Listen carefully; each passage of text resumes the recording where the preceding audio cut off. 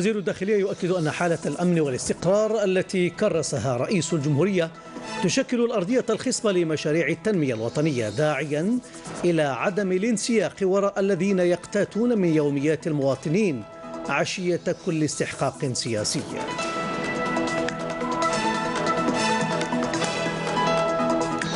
محول كهربائي جديد لتدعيم المنطقة الصناعية سيدي خطاب بغليزان لتقوية وتأمين احتياجات المستثمرات الصناعية الكبرى.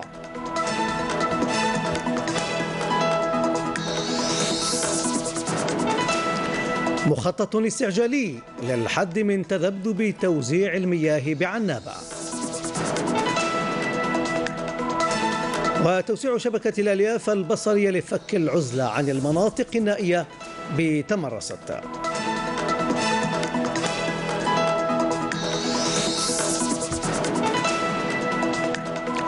الدولي الجزائري السابق جمال بالماضي على رأس العارضة الفنية للخضر إلى غاية مونديال 2022 مشاهدينا في كل مكان السلام عليكم. أهلا بكم معنا إلى تفاصيل نشرة الثامنة. بداية أكد وزير الداخلية والجماعات المحلية والتهيئة العمرانية نور الدين بدوي أن حالة الأمن والاستقرار التي تعيشها بلادنا والتي كرسها رئيس الجمهورية بتضافر جهود الجميع تشكل الأرضية الخصبة التي تنطلق منها كل المشاريع التنموية المنجزة عبر ربوع الوطن بما فيها تلك المخصصة للدخول الاجتماعي والمدرسي المقبلين. وهذا خلال لقاء جمعه بإطارات قطاعه. وليد قادرية. مئة إطار من وزارة الداخلية جالوا بلديات الوطن في عملية تفتيشية لتقييم ومعاينة وضعية المدارس عبرها وعلى تقاريرهم بني لقاء اليوم بين هؤلاء الإطارات ووزير الداخلية والجماعات المحلية والتهيئة العمرانية الذي استمع لما خلصت إليه المهمة التفتيشية. وقبلها كان بدوي قد أكد في كلمته أننا مقبلون على دخول اجتماعي مميز بما رصد له من إمكانيات هائلة. أمام هذه المجهودات الجبارة التي بذلت لكي تصل التنمية إلى أبعد نقطة في وطننا العزيز من أجل المواطن والمواطن وحده. المواطن الذي هو في قلب كل الاستراتيجيات. ما كانت لتتحقق لولا مكسب الأمن والاستقرار الذي تنعم بهما بلادنا اليوم.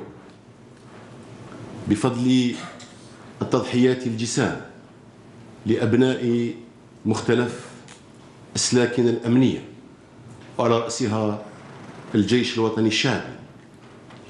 وما كانت لتتحقق لولا الانتصار الكبير للمصالحة الوطنية التي زكاها الشعب الجزائري كمشروع حضاري ببعده الوطني والإنساني. وما كانت لتتحقق لولا وعي مواطنين والتفافهم حول مؤسساتهم الدستورية لما خرجت الجزائر من نفق عشرية دموية سوداء منتصرة على الإرهاب الهمجي والأعمى الذي ما تزال بقاياه تتخبط ويلفظ أنفاسه الأخيرة. ما يدعون جميعا مسؤولين ومواطنين وكل أطياف المجتمع للتجند أكثر من أي وقت مضى للتحلي باليقظة والرقي إلى مستوى عظمة وطننا ومؤسساتنا الدستورية. وهنا أؤكد بأن الدولة لن تتسامح مع أي كان يريد العبث باستقرارها وأمنها. وزير الداخلية أكد أن ما تحقق إنجازه في مجال التنمية يستحق الإشادة ويعبر عن التزام الدولة ببرامجها التنموية التي تهدف لخدمة المواطن لا غير وهو ما لم يكن ليتحقق لولا نعمة الأمن والاستقرار. هذه المكاسب الكبرى والعظيمة من أمن واستقرار وتنمية شاملة مست كل الميادين. هدفها الأسمى هو خدمة المواطن الذي هو كما قلت في قلب كل الاستراتيجيات بعيدا عن كل الحسابات أو المزايدات وهو ما يجب أن يعيه كل فرد من أفراد هذا الوطن العزيز. وأن لا ينساق وراء متاهات المشككين فالجزائر دولة مؤسسات فأولئك الذين يريدون أن يقتاتوا من يوميات المواطن مع اقتراب كل استحقاق سياسي. مغردين خارج السرب عليهم أن يعوا بأن المواطن الجزائري لا يختبر في حب وطنه. ومرافقة مؤسساته الدستورية ودعمه الكامل واللا مشروط لأمن واستقرار بلده. نور الدين بدوي شدد على المتابعة الدورية والمستمرة لوضعية المدارس من أجل تحقيق الأهداف المسطرة للدخول الاجتماعي المقبل وما بعده داعيا في الوقت نفسه المجتمع المدني وأولياء التلاميذ إلى لعب الدور المنوط بهم في مرافقة السلطات في هذا الاتجاه. اعتبر وزير الطاقة مصطفى قيطوني منطقة سيدي خطاب بولاية غليزان التي وضع بها حجر الأساس لمشروع إنجاز مركز تحويل الكهرباء ذات الضغط العالي. اعتبر استثمارا ناجحا لتغطية الطلب المتزايد على الطاقة وتحسين نوعية الخدمات الموجهة للزبائن. بالمهل بالمهدية بعد أن استمع إلى عرض شامل عن القطاع قام وزير الطاقة مصطفى قيطوني بوضع حجر الأساس لمشروع إنجاز مركز تحويل الكهرباء ذات الضغط العالي والذي سيدخل الخدمة مع نهاية السنة القادمة مشيرا إلى أن ولاية غليزان تسجل تقدما في مجال التزود بالكهرباء والغاز الطبيعي. حتى الآن الأمور زعفت خطرات في مجال الطاقة في مجال الشبكة في مجال الغاز. في مجال الوقود وكل هذا يبين باللي الناس خدمت في هذه الفترة هذه وأنجزت مشاريع كبيرة وزير القطاع تفقد الوحدة الجديدة لصناعة الكوابر التي دخلت الخدمة بالمنطقة الصناعية لسيدي خطاب التي اعتبرها نموذجا ناجحا في الاستثمار. La zone industrielle de Sidi Khattab, elle est très prometteuse. Nous avons donc installé dans cette, dans cette zone industrielle des cabines mobiles qui sont en train d'alimenter de gros investisseurs. Et je citerai par là l'investissement euh, algéro-turc, les textiles, qui a d'ailleurs exporté qu'il a exporté 11 conteneurs vers l'Europe.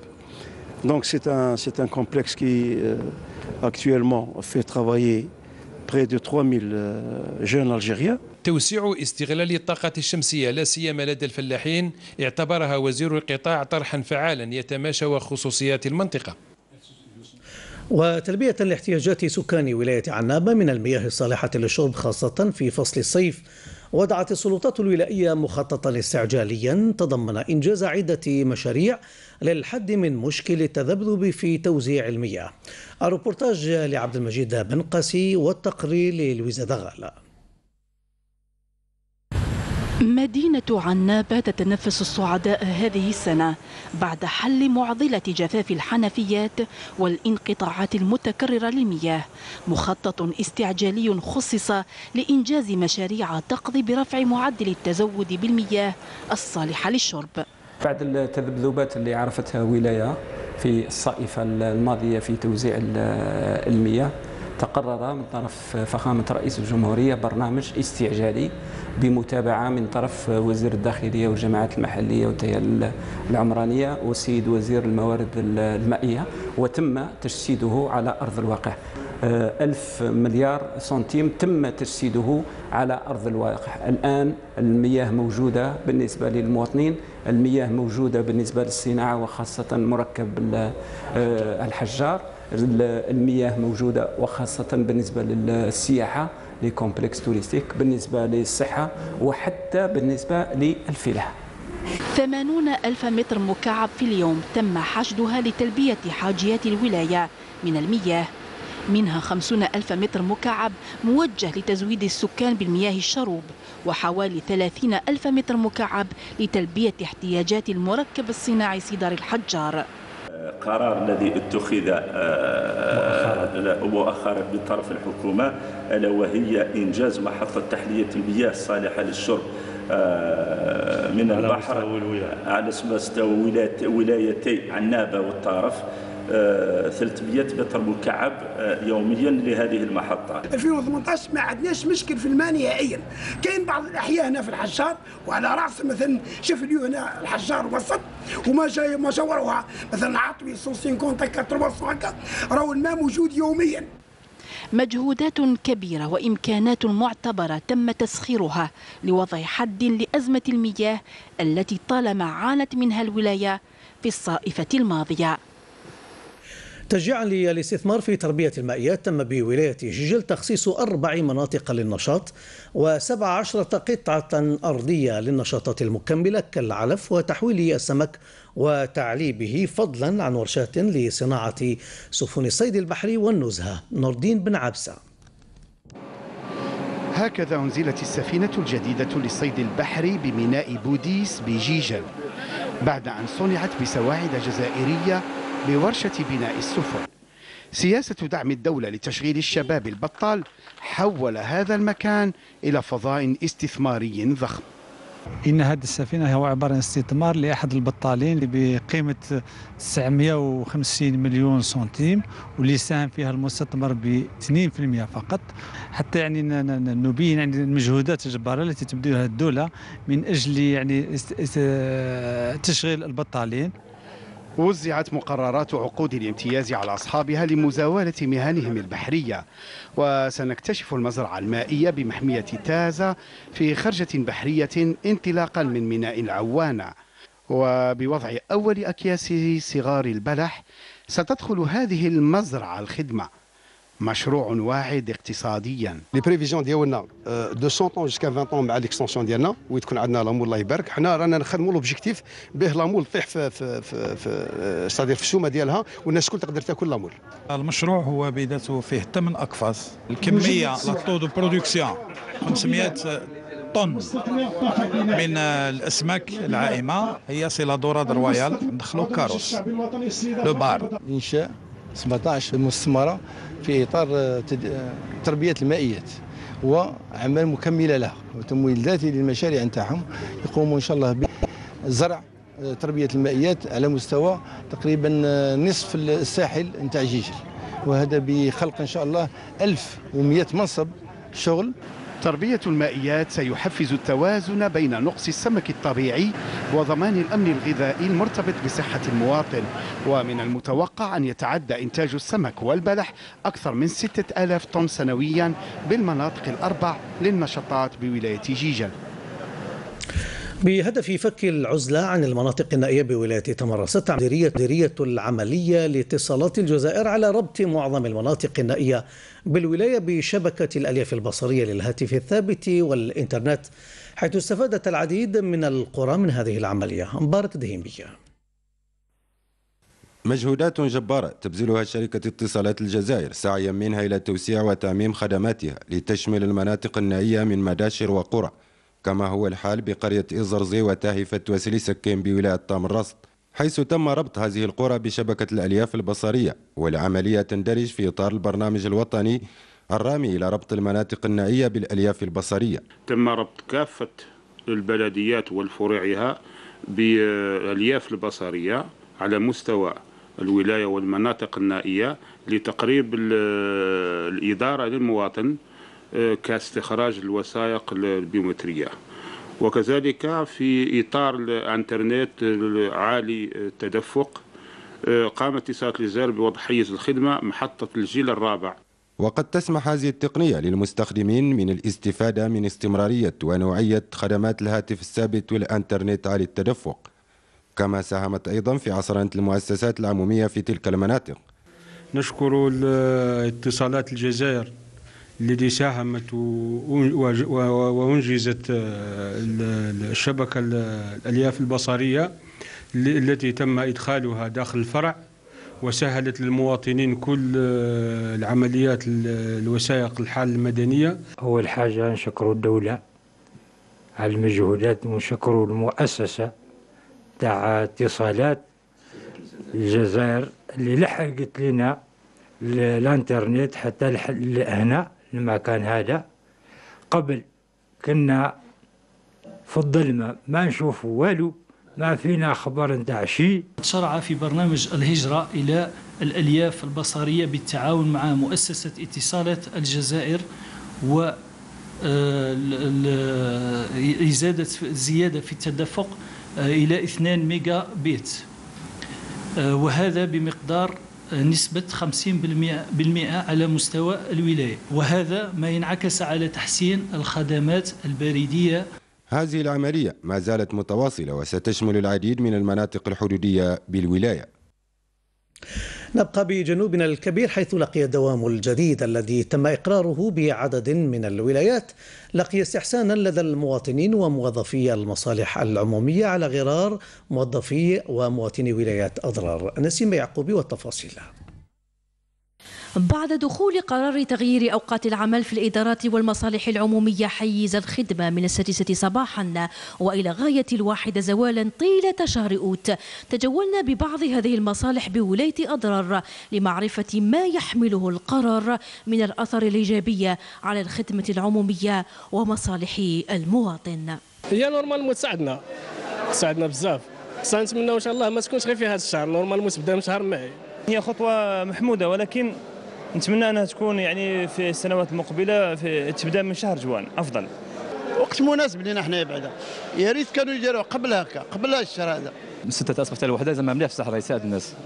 بس هما من بعد الظهر إن شاء الله بعد الظهيره الحمى بزاف. قرار يأمل مواطن أضرار استمراره في السنوات المقبلة ويرى فيه العمال تحسينا لظروف العمل في مثل هذه الأوقات الصعبة. دركا الحمد لله منين ولينا نخدموا الصبح الصباح يعني نقصت الزعاف نقصت المشاكل ونقص فعلا نقصت المشاكل نقصت ديك السخانة نتاع الراس. يعني تقريبا كانت خسارة كبيرة بالنسبة بالنسبة لليطا من ناحيه من ناحية لي زاباري شاعليه من ناحية لي كليماتيزور يتمشاو من ناحية حتى حتى الخدامة كاين خدامة يجوا أنا كانوا الخدامه يريكلاموا عليا يقول لي ودي أنا نجي من من الزوج حتى للربعه ما ندير والو قاعد غير قاعد. هو في الحق هذا هو التوقيت المناسب للعمال في معناتها يكونوا في قمة العطاء وفي حتى الخدمة تكون مرتاحة. إجراء يخص ولاية أضرار وعلى غرار ولايات الجنوب التي تشهد حرارة شديدة وهو الإجراء الذي يأخذ بعين الاعتبار ظروف العمل في الوسط المهني وكذا حق المواطن في خدمة عمومية مريحة. إلى ولاية وهران حيث استفادت العديد من المؤسسات العمومية والبلديات من آلات ومعدات جديدة من صنع وطني وهذا للإسراع في وتيرة التهيئة الحضرية وتنظيف المحيط. بالمهدي بالمهلة. جرى بولاية وهران حفل تسليم آلات وعتاد لفائدة المؤسسات العمومية. هذا وش نطلبوا إحنا؟ هذه الهياكل. وكما تعلمون كل هذا يدخل في إطار برنامج فخامة رئيس الجمهورية السيد عبد العزيز بوتفليقة الذي آه، يعطي أهمية كبيرة خاصة للعنصر المحلي ويبقى المواطن في قلب الاهتمامات تاع كل السلطات. ومن بين البلديات المستفيدة من هذه الدفعة الأولى من العتاد للأشغال العمومية بلدية بوسفر 12 كيلومتر ساحل تحتوي على سبع شواطئ. الحمد لله أن البلدية اليوم استفدت من هذا الغيترو شارجور. آه هذا سوف يعطينا الدعم والإعانة فيما يخص نظافة المحيط ومحافظة على المحيط لأن البلدية كانت في حاجة ماسة إليه وأشكر كل السلطات. المعدات المسلمة والمتمثلة في آلات للجرف بأنواعها من إنتاج وطني كما تتبعها حصص أخرى تمس قطاع النقل المدرسي ونظافة المحيط. توجه اليوم ما يقارب 135 حاجا وحاجة من مطار الرائد فراج بتندوف نحو وهران ومن ثم نحو البقاع المقدسة لأداء مناسك الحج وقد تلقى ضيوف الرحمن إرشادات وتوجيهات من أجل أداء هذا الركن في أحسن الظروف. فاطمة زهرة بن فرج الله. في أجواء من المحبة والتضامن توافد الحجاج بمطار الرائد فراج بتندوف للتنقل إلى البقاع المقدسة لأداء فريضة الحج رانا في مطار تندوف متقبلين إن شاء الله البقاع المقدسة طالبين من الله إن شاء الله القبول والنصر لنا والنصر لدولتنا. رانا رايحين إن شاء الله لبيت مولانا وإن شاء الله نحجوا بحج حج بخير ونجوا إن شاء الله والدعاء مساكن حج إن شاء الله بسلامات. وما لقينا حتى صعوبات في المطار. دخلنا كاننا داخلين نورمال فوتنا كل الساهل. آه، ريقلوا لنا ليبي لي داك تاعنا ساهلين والحمد لله على الدولة قامت بنا حجنا نتمنى إن شاء الله مبرور ونتمنى إن شاء الله بإذن الله بذنب مغفور. نتمنى إن شاء الله بإذن الله أن تكون دعواتنا مستجابة. نتمنى التوفيق للجميع. وبالنظر لكبر السن البعض ومع حرارة الطقس تنافست الجمعيات لمد يد العون للحجاج. فيما قدمت النصائح والإرشادات من طرف ممثلين عن مديرية الشؤون الدينية والأوقاف. مساعدة الحجاج في في الأمتعة نتاعهم وكذا تقديم لهم بعض الوجبات الخفيفة والماء البارد والمساعدة في التنظيم تنظيم الشؤون التي تشرف عليها السلطات المحلية. الوقفة اللي تقوم بها اللي تقوم بها الكشافة الإسلامية الجزائرية ولاية تندوف وهو تقديم يد المساعدة للحجاج وتسهيل كل المهام اللي تقوم بها الكشافة الإسلامية. وهذا هو الدور اللي تقوم به الكشافة الإسلامية ولاية ولاية تندوف خاصة هو تقديم يد العون يد المساعدة لحجاجنا الميامين. كل الإجراءات اتخذت إذن بولاية تندوف لتسهيل هذه الرحلة المتجهة نحو وهران فحج مبرور وذنب مغفور. ومتابعة لسير موسم الحج لعام 1439 هجرية 2018 تعلن وزارة الشؤون الدينية والأوقاف عن إنشاء لجنة متابعة وخلية استماع على مستوى مقر الوزارة وللاستماع لجميع انشغالاتهم واستفساراتهم المتعلقة بموضوع الحج يمكن الاتصال على رقم هاتف وفاكس الخلية. أو البريد الإلكتروني أو على صفحة الفيسبوك. لجنة متابعة سير موسم حج 1439 2018 وفي سياق آخر تعلم وزارة الشؤون الدينية والأوقاف جميع متعاملي طباعة المصحف الشريف ونشرة وتوزيعه أن اللجنة الوزارية لتدقيق ومراجعة نسخ المصحف الشريف قد استأنفت عملها بعد تنصيبها من قبل وزير الشؤون الدينية والأوقاف محمد عيسى حيث يمكنهم أن يتصلوا بمصالح الوزارة وفق الإجراءات نفسها المعتادة من أجل استئناف نشاطهم كما يمكن للذين ألغيت رخصهم أن يتقدموا بطعون للجنة للجنة الجديدة. هذا وتنبه وزارة الشؤون الدينية والأوقاف إلى ورود أخطاء في المصحف الموسوم مصحف الحادق الصغير الذي ضبطه ونسقه عبد المجيد رياش ونشرته دار ابن الحفص للطباعة والنشر. وقد اتخذت كافة الإجراءات اللازمة لدى جميع الجهات ذات الصلاحية لمنع هذا المصحف من التداول وسحب رخصة طبعه. انطلقت اليوم من شاطئ العقيد عباس بولاية تيباز القافلة الترفيهية التحسيسية بعنوان القرية الصيفية تحت شعار صيف السنة 2018 صيف الهنا.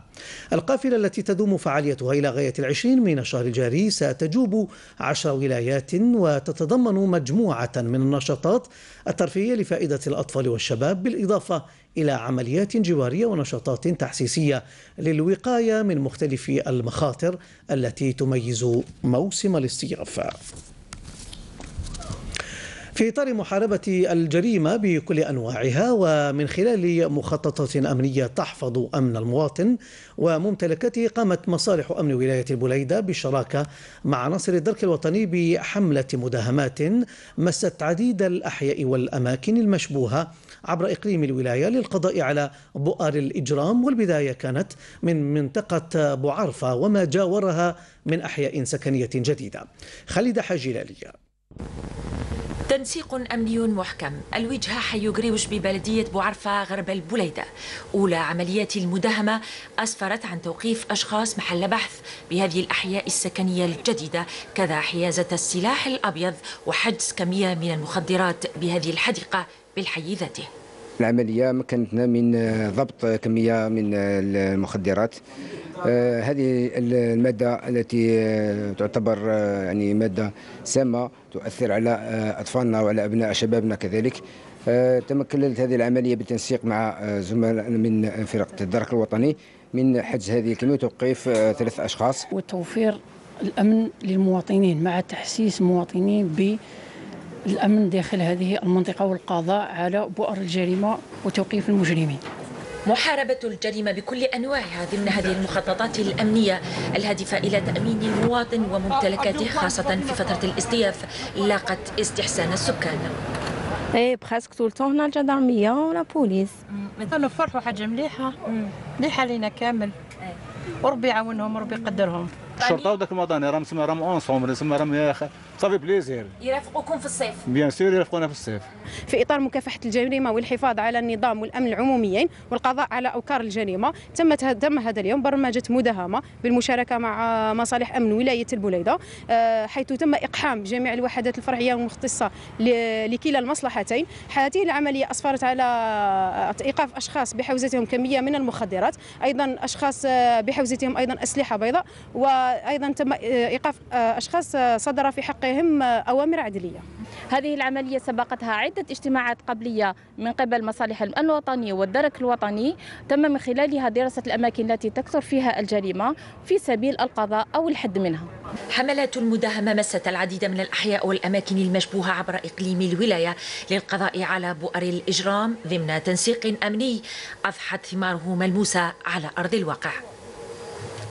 أكد بيان لوزارة الدفاع الوطني أنه في إطار محاربة الجريمة المنظمة أوقفت أمس مفارز للجيش الوطني الشعبي بكل من بوجبج مختار وعين قزام مهربا وحجزت مركبتين رباعيتي الدفع ومطرقة ضاغطة ومولدا كهربائيا و1100 لتر من الوقود بالإضافة إلى طنين من المواد الغذائية وأزيد من طن من مواد التنظيف فيما ضبط عناصر الدرك الوطني بتلمسان 49 كيلوغراما من الكيف المعالج. في حين تم توقيف مهرب آخر بأضرار وحجز عشرة قناطير من مادة التبغ وعشرين قنطارا من التمور كانت موجهة لتهريب من جهة أخرى ضبط حراس السواحل بالقالة ستة أجهزة محظورة لصيد المرجان فيما أوقف عناصر الدرك الوطني بتلمسان ثمانية مهاجرين بطريقة غير شرعية من جنسيات مختلفة. في النشاط الحزبي وفي إطار سلسلة المشاورات السياسية حول مبادرة التوافق الوطنية التي تجريها حركة مجتمعي السلم التقى اليوم رئيس الحركة عبد الرزاق مقري برئيس تجمع أمل الجزائر عمر غول اللقاء تناول مختلف النقاط والملفات التي تضمنتها مبادرة الحركة. تم التوافق من خلال المحور الاجتماعي والمحور الاقتصادي والمحور الإقليمي. هذه المحاور الثلاثة كذلك. قلنا الآن يطرح الملف السياسي. حزب تجمع أمل الجزائر تاج حزب معروف وموقفه من رئاسية محسوم. إحنا أكدنا أننا نحن مع استمرارية فخامة رئيس الجمهورية عبد العزيز بوتفليقة. هذا موش مليوم كلامنا معروف وموقفنا معروف. نحن في الحقيقة سعداء جدا بما أنجزناه إلى حد هذه اللحظة. نحن مطمئنون جدا شعرنا بكثير يعني من التقارب. الأجواء إيجابية العلاقات بين الأحزاب يعني لم تصبح فيها شحن ولا ولا ولم يصبح فيها يعني يعني نوع من الضغط يعني. صارت اللقاءات بيننا وبين مختلف الأحزاب وبين الأحزاب فيما بينها. آه، صار يعني سلس وصار آه، سهل وهذا لصالح البلد ولصالح الجزائر. ندد المكتب ودائم للأمانة الوطنية لجبهة البوليساريو بالمحاولات التي تجري على مستوى الاتحاد الأوروبي والرامية إلى تشريع نهب الثروات الطبيعية الصحراوية والقفز على قرارات محكمة العدل الأوروبية بهذا الخصوص. وأعرب المكتب في بيان اجتماعه برئاسة رئيس الجمهورية العربية الصحراوية الأمين العام لجبهة البوليساريو إبراهيم غالي كما جدد مكتب الأمانة الوطني للجبهة مطالبته الأمم المتحدة بالتدخل العاجل لإطلاق سراح معتقلي كديميزيك وجميع المعتقلين السياسيين الصحراويين في السجون المغربية مشيدا بالدور المتميز الذي يقوم به جيش التحرير الشعبي الصحراوي في التصدي لمجمل المخاطر الأمنية الناجمة عن سياسات دولة الاحتلال المغربي التي تهدد السلم والاستقرار في المنطقة. في الشأن الفلسطيني اعترضت بحرية الاحتلال الإسرائيلي قافلة الحرية النرويجية لكسر الحصار على قطاع غزة وكان على متنها مناهضين دوليين للحصار المفروض منذ 11 سنة. وأكد قبطان السفينة أن ما قامت به قوة الاحتلال يعد خرقا واضحا للقانون الدولي.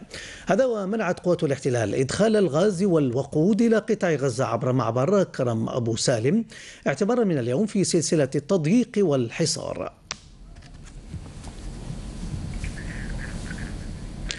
وما زاد الوضع تأزما تقليص الأونروا لعدد موظفيها. أكثر التفاصيل مع وسام أبو زيد رفضا لفصل وكالة الغوث لتشغيل اللاجئين. الأونروا نحو ألف موظف لديها. ما زال مئات الفلسطينيين ينصبون خياما وسط مقرها الرئيسي احتجاجا على الاستغناءات التي تهدد حياة آلاف اللاجئين ويذكرون العالم بقضيتهم التي أنشئت من أجلها المنظمة الدولية. على اللاجئين. حيمنعوا الكابونات حيسكروا العيادات حيسكروا المدارس.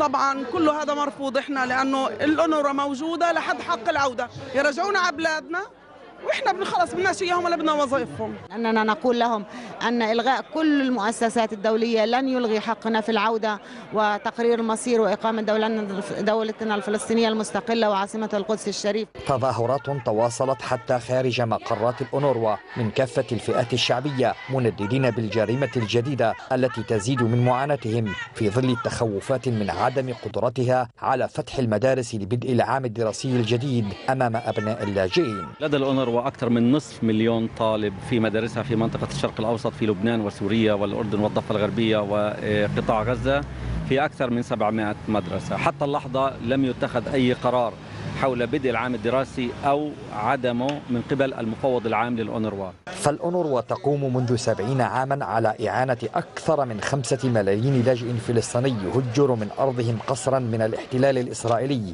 وتعاني من عجز مالي لأول مرة بتاريخها. يعصف بأحد ثوابت الفلسطينيين عودة اللاجئين. لا يمكن أن نقبل يعني إخراج قضية اللاجئين ومدينة القدس من خارج أي عملية تسوية ولن نقبل بأن تكون قرارات شرعية دولية خارج سياق أي حل للقضية الفلسطينية لأن القضية الفلسطينية أساسها هو تطبيق قرارات شرعية دولية بما فيها القرار 194 فالتقليصات التي تتخذها الأونروا هي اختبار جديد للاجئين الفلسطينيين للدفاع عن قضيتهم العادلة. كما أن هذه الفعاليات بإمكانها أن تقطع الطريق أمام أي مشاريع إسرائيلية لتصفية القضية الفلسطينية. وسام أبو زيد التلفزيون الجزائري غزة فلسطين. في زيمبابوي أجواء من العنف والتوتر سادت اليوم. العاصمة هراري بعد إعلان نتائج الانتخابات التشريعية التي فاز فيها أنصار الرئيس الحالي للبلاد. وقد تسببت المشادات بين الشرطة والمتظاهرين في مقتل ستة أشخاص على الأقل وسط ترقب لإعلان نتيجة الاقتراع الرئاسي التي قد تؤدي حسب المتتابعين إلى مزيد من التصعيد. في الرياضة أعلنت الاتحادية الجزائرية لكرة القدم عبر موقعها الإلكتروني عن تعيين جمال بالماضي مدربا جديدا للمنتخب الوطني خلفا لربح مجر بعقد يربطه مع الاتحادية إلى غاية كأس العالم لكرة القدم عام 2022 المزمع تنظيمها بقطر. اللاعب الدولي جمال بالماضي الذي لعب مع أولمبيك مارسيليا ثم مانشستر سيتي كان قد درب نادي دحيل القطري و توج معه بثنائية اللقب والكأس وتأهل معه للربع النهائي لرابطة أبطال آسيا كما فاز رفقة المنتخب القطري عام 2014 بكأس الخليج. ثانيا انطلقت سهرة أمس بسيدي بالعباس فعالية المهرجان الثقافي الوطني لأغنية الرأي حيث تفاعل الجمهور مع باقة من أجمل الأغاني الرأيوية التي قدمها فنانون الشباب محمد سالمي. بكلمات وألحان موسيقية عكست أصالة مدينة سيدي بالعباس في مجال الأغنية الجزائرية. استهل الحفل الافتتاحي للطبعة العاشرة من المهرجان الثقافي الوطني لأغنية الراي. الشيء اللي يميز المهرجان هذا العام آه راه jeune آه نقدر نقول لك jeune 90% آه في le staff technique تاعه. فيه صبغة آه وطنية 100% la disponibilité تاعي راهي نحافظ عليها في ال festival وفي la في la musique في الجزائر وفي الفن الجزائري وفي la famille algérienne Le raï, c'est une opinion d'un peuple. Le raï, c'est une façon de vivre, c'est un style de vie. جمهور مدينة سيدي بالعباس كعادته واكب هذه التظاهرات الثقافية قدم انطباعات حسنة بخصوص هذه الفعالية يا ربي تغفر لي يا عبد ضعيف ça fait plaisir مليح من le style raï. باش toujours يقعد اكزيستي الراي نتاعنا تاع بكري الثقافة نتاعنا تاع بكري. مليحة زينة. الشعبي يترفه شوية شوية رفاهية شوية نشاط شوية. صافا هكا مليحة حاجة كثرة كيما هكا المهرجان الثقافي الوطني لأغنية الرأي. وعلى مدار أربعة أيام كاملة سيشكل حلقة بين مختلف الفنانين من ربوع وطننا الحبيب. اختتمت البارحة بالمركب الأولمبي محمد بوضيف فعالية تظاهرات دار الجزائر في طبعتها الرابعة والتي تميزت بإبراز عادات وتقاليد كل من ولايات. الجزائر العاصمة أضرار وتيزي وزو وسط حضور جماهيري تعرف على ما تزخر به بلادنا من تنوع ثقافي ثري. خليل تواتيه عادات وتقاليد الجزائر العاصمة أضرار وتيزي وزو. كانت مسك الختام لفعاليات تظاهرة دار الجزائر وهو ما جسدته حفلات الأعراس التقليدية لهذه الولايات. يعني العاصمة اليوم قدمت يعني آه، كل ما تسخر به من آه، ثقافة وفن وأكل يعني. أضرار حاضرة بثقافتها وبطبوعها الغنائية المختلفة من رقصة البارود إلى الزمار وإلى كذلك إلى طابع ش- شبابي جديد وهو القناوي مع القرقبو. un rituel تاع mariage kabyle traditionnel. un mariage kabyle qui se déroule à Tizi Ouzou. dans la Kabylie. un passage de notre folklorique الجزائر تحتضن إفريقيا.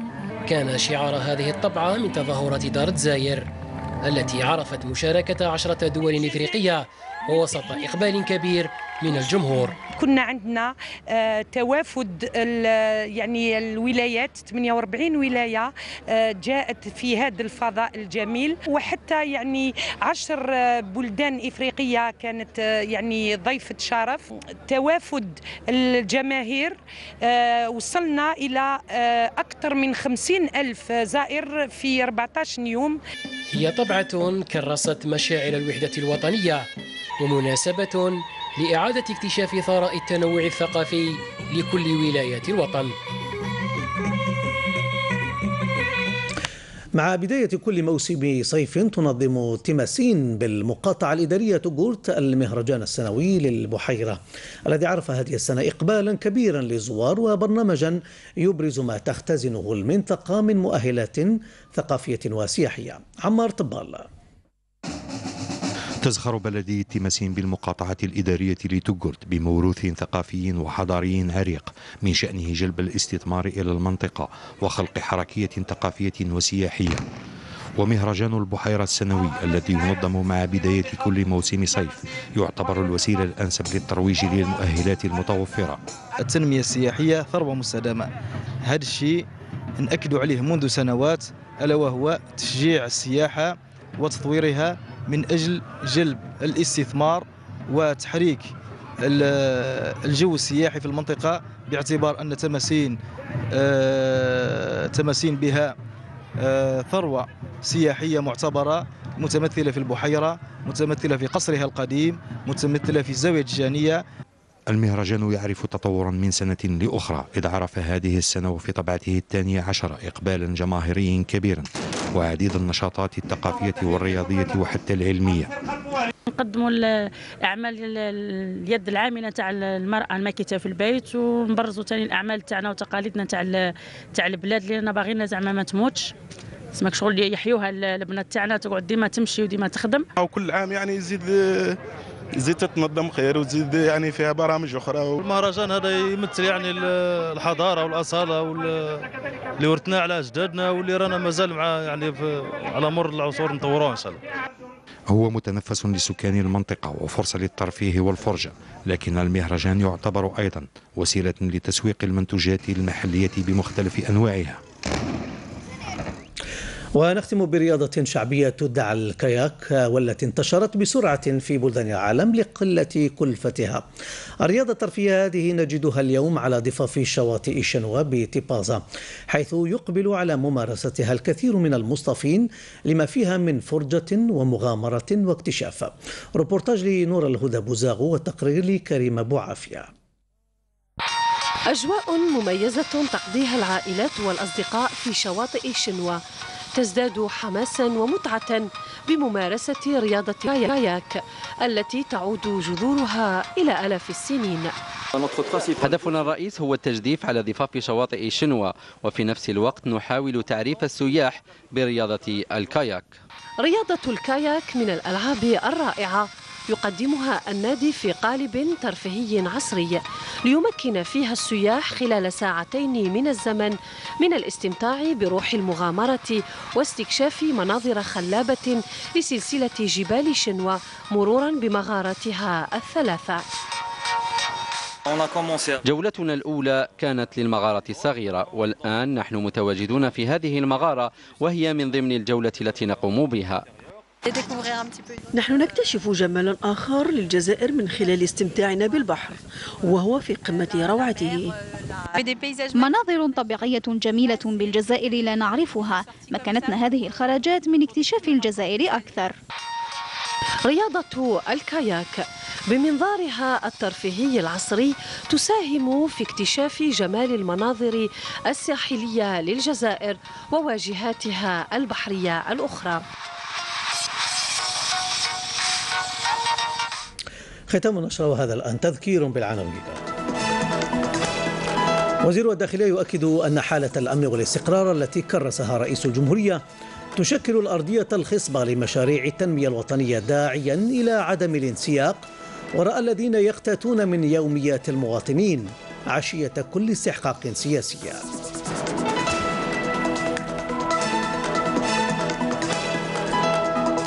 محول كهربائي جديد لتدعيم المنطقة الصناعية سيدي خطاب بغليزان لتقوية وتأمين احتياجات المستثمرات الصناعية الكبرى.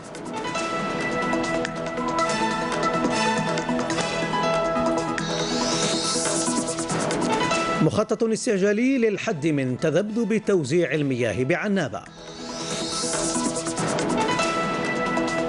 وتوسيع شبكة الألياف البصرية لفك العزلة عن المناطق النائية بتمرست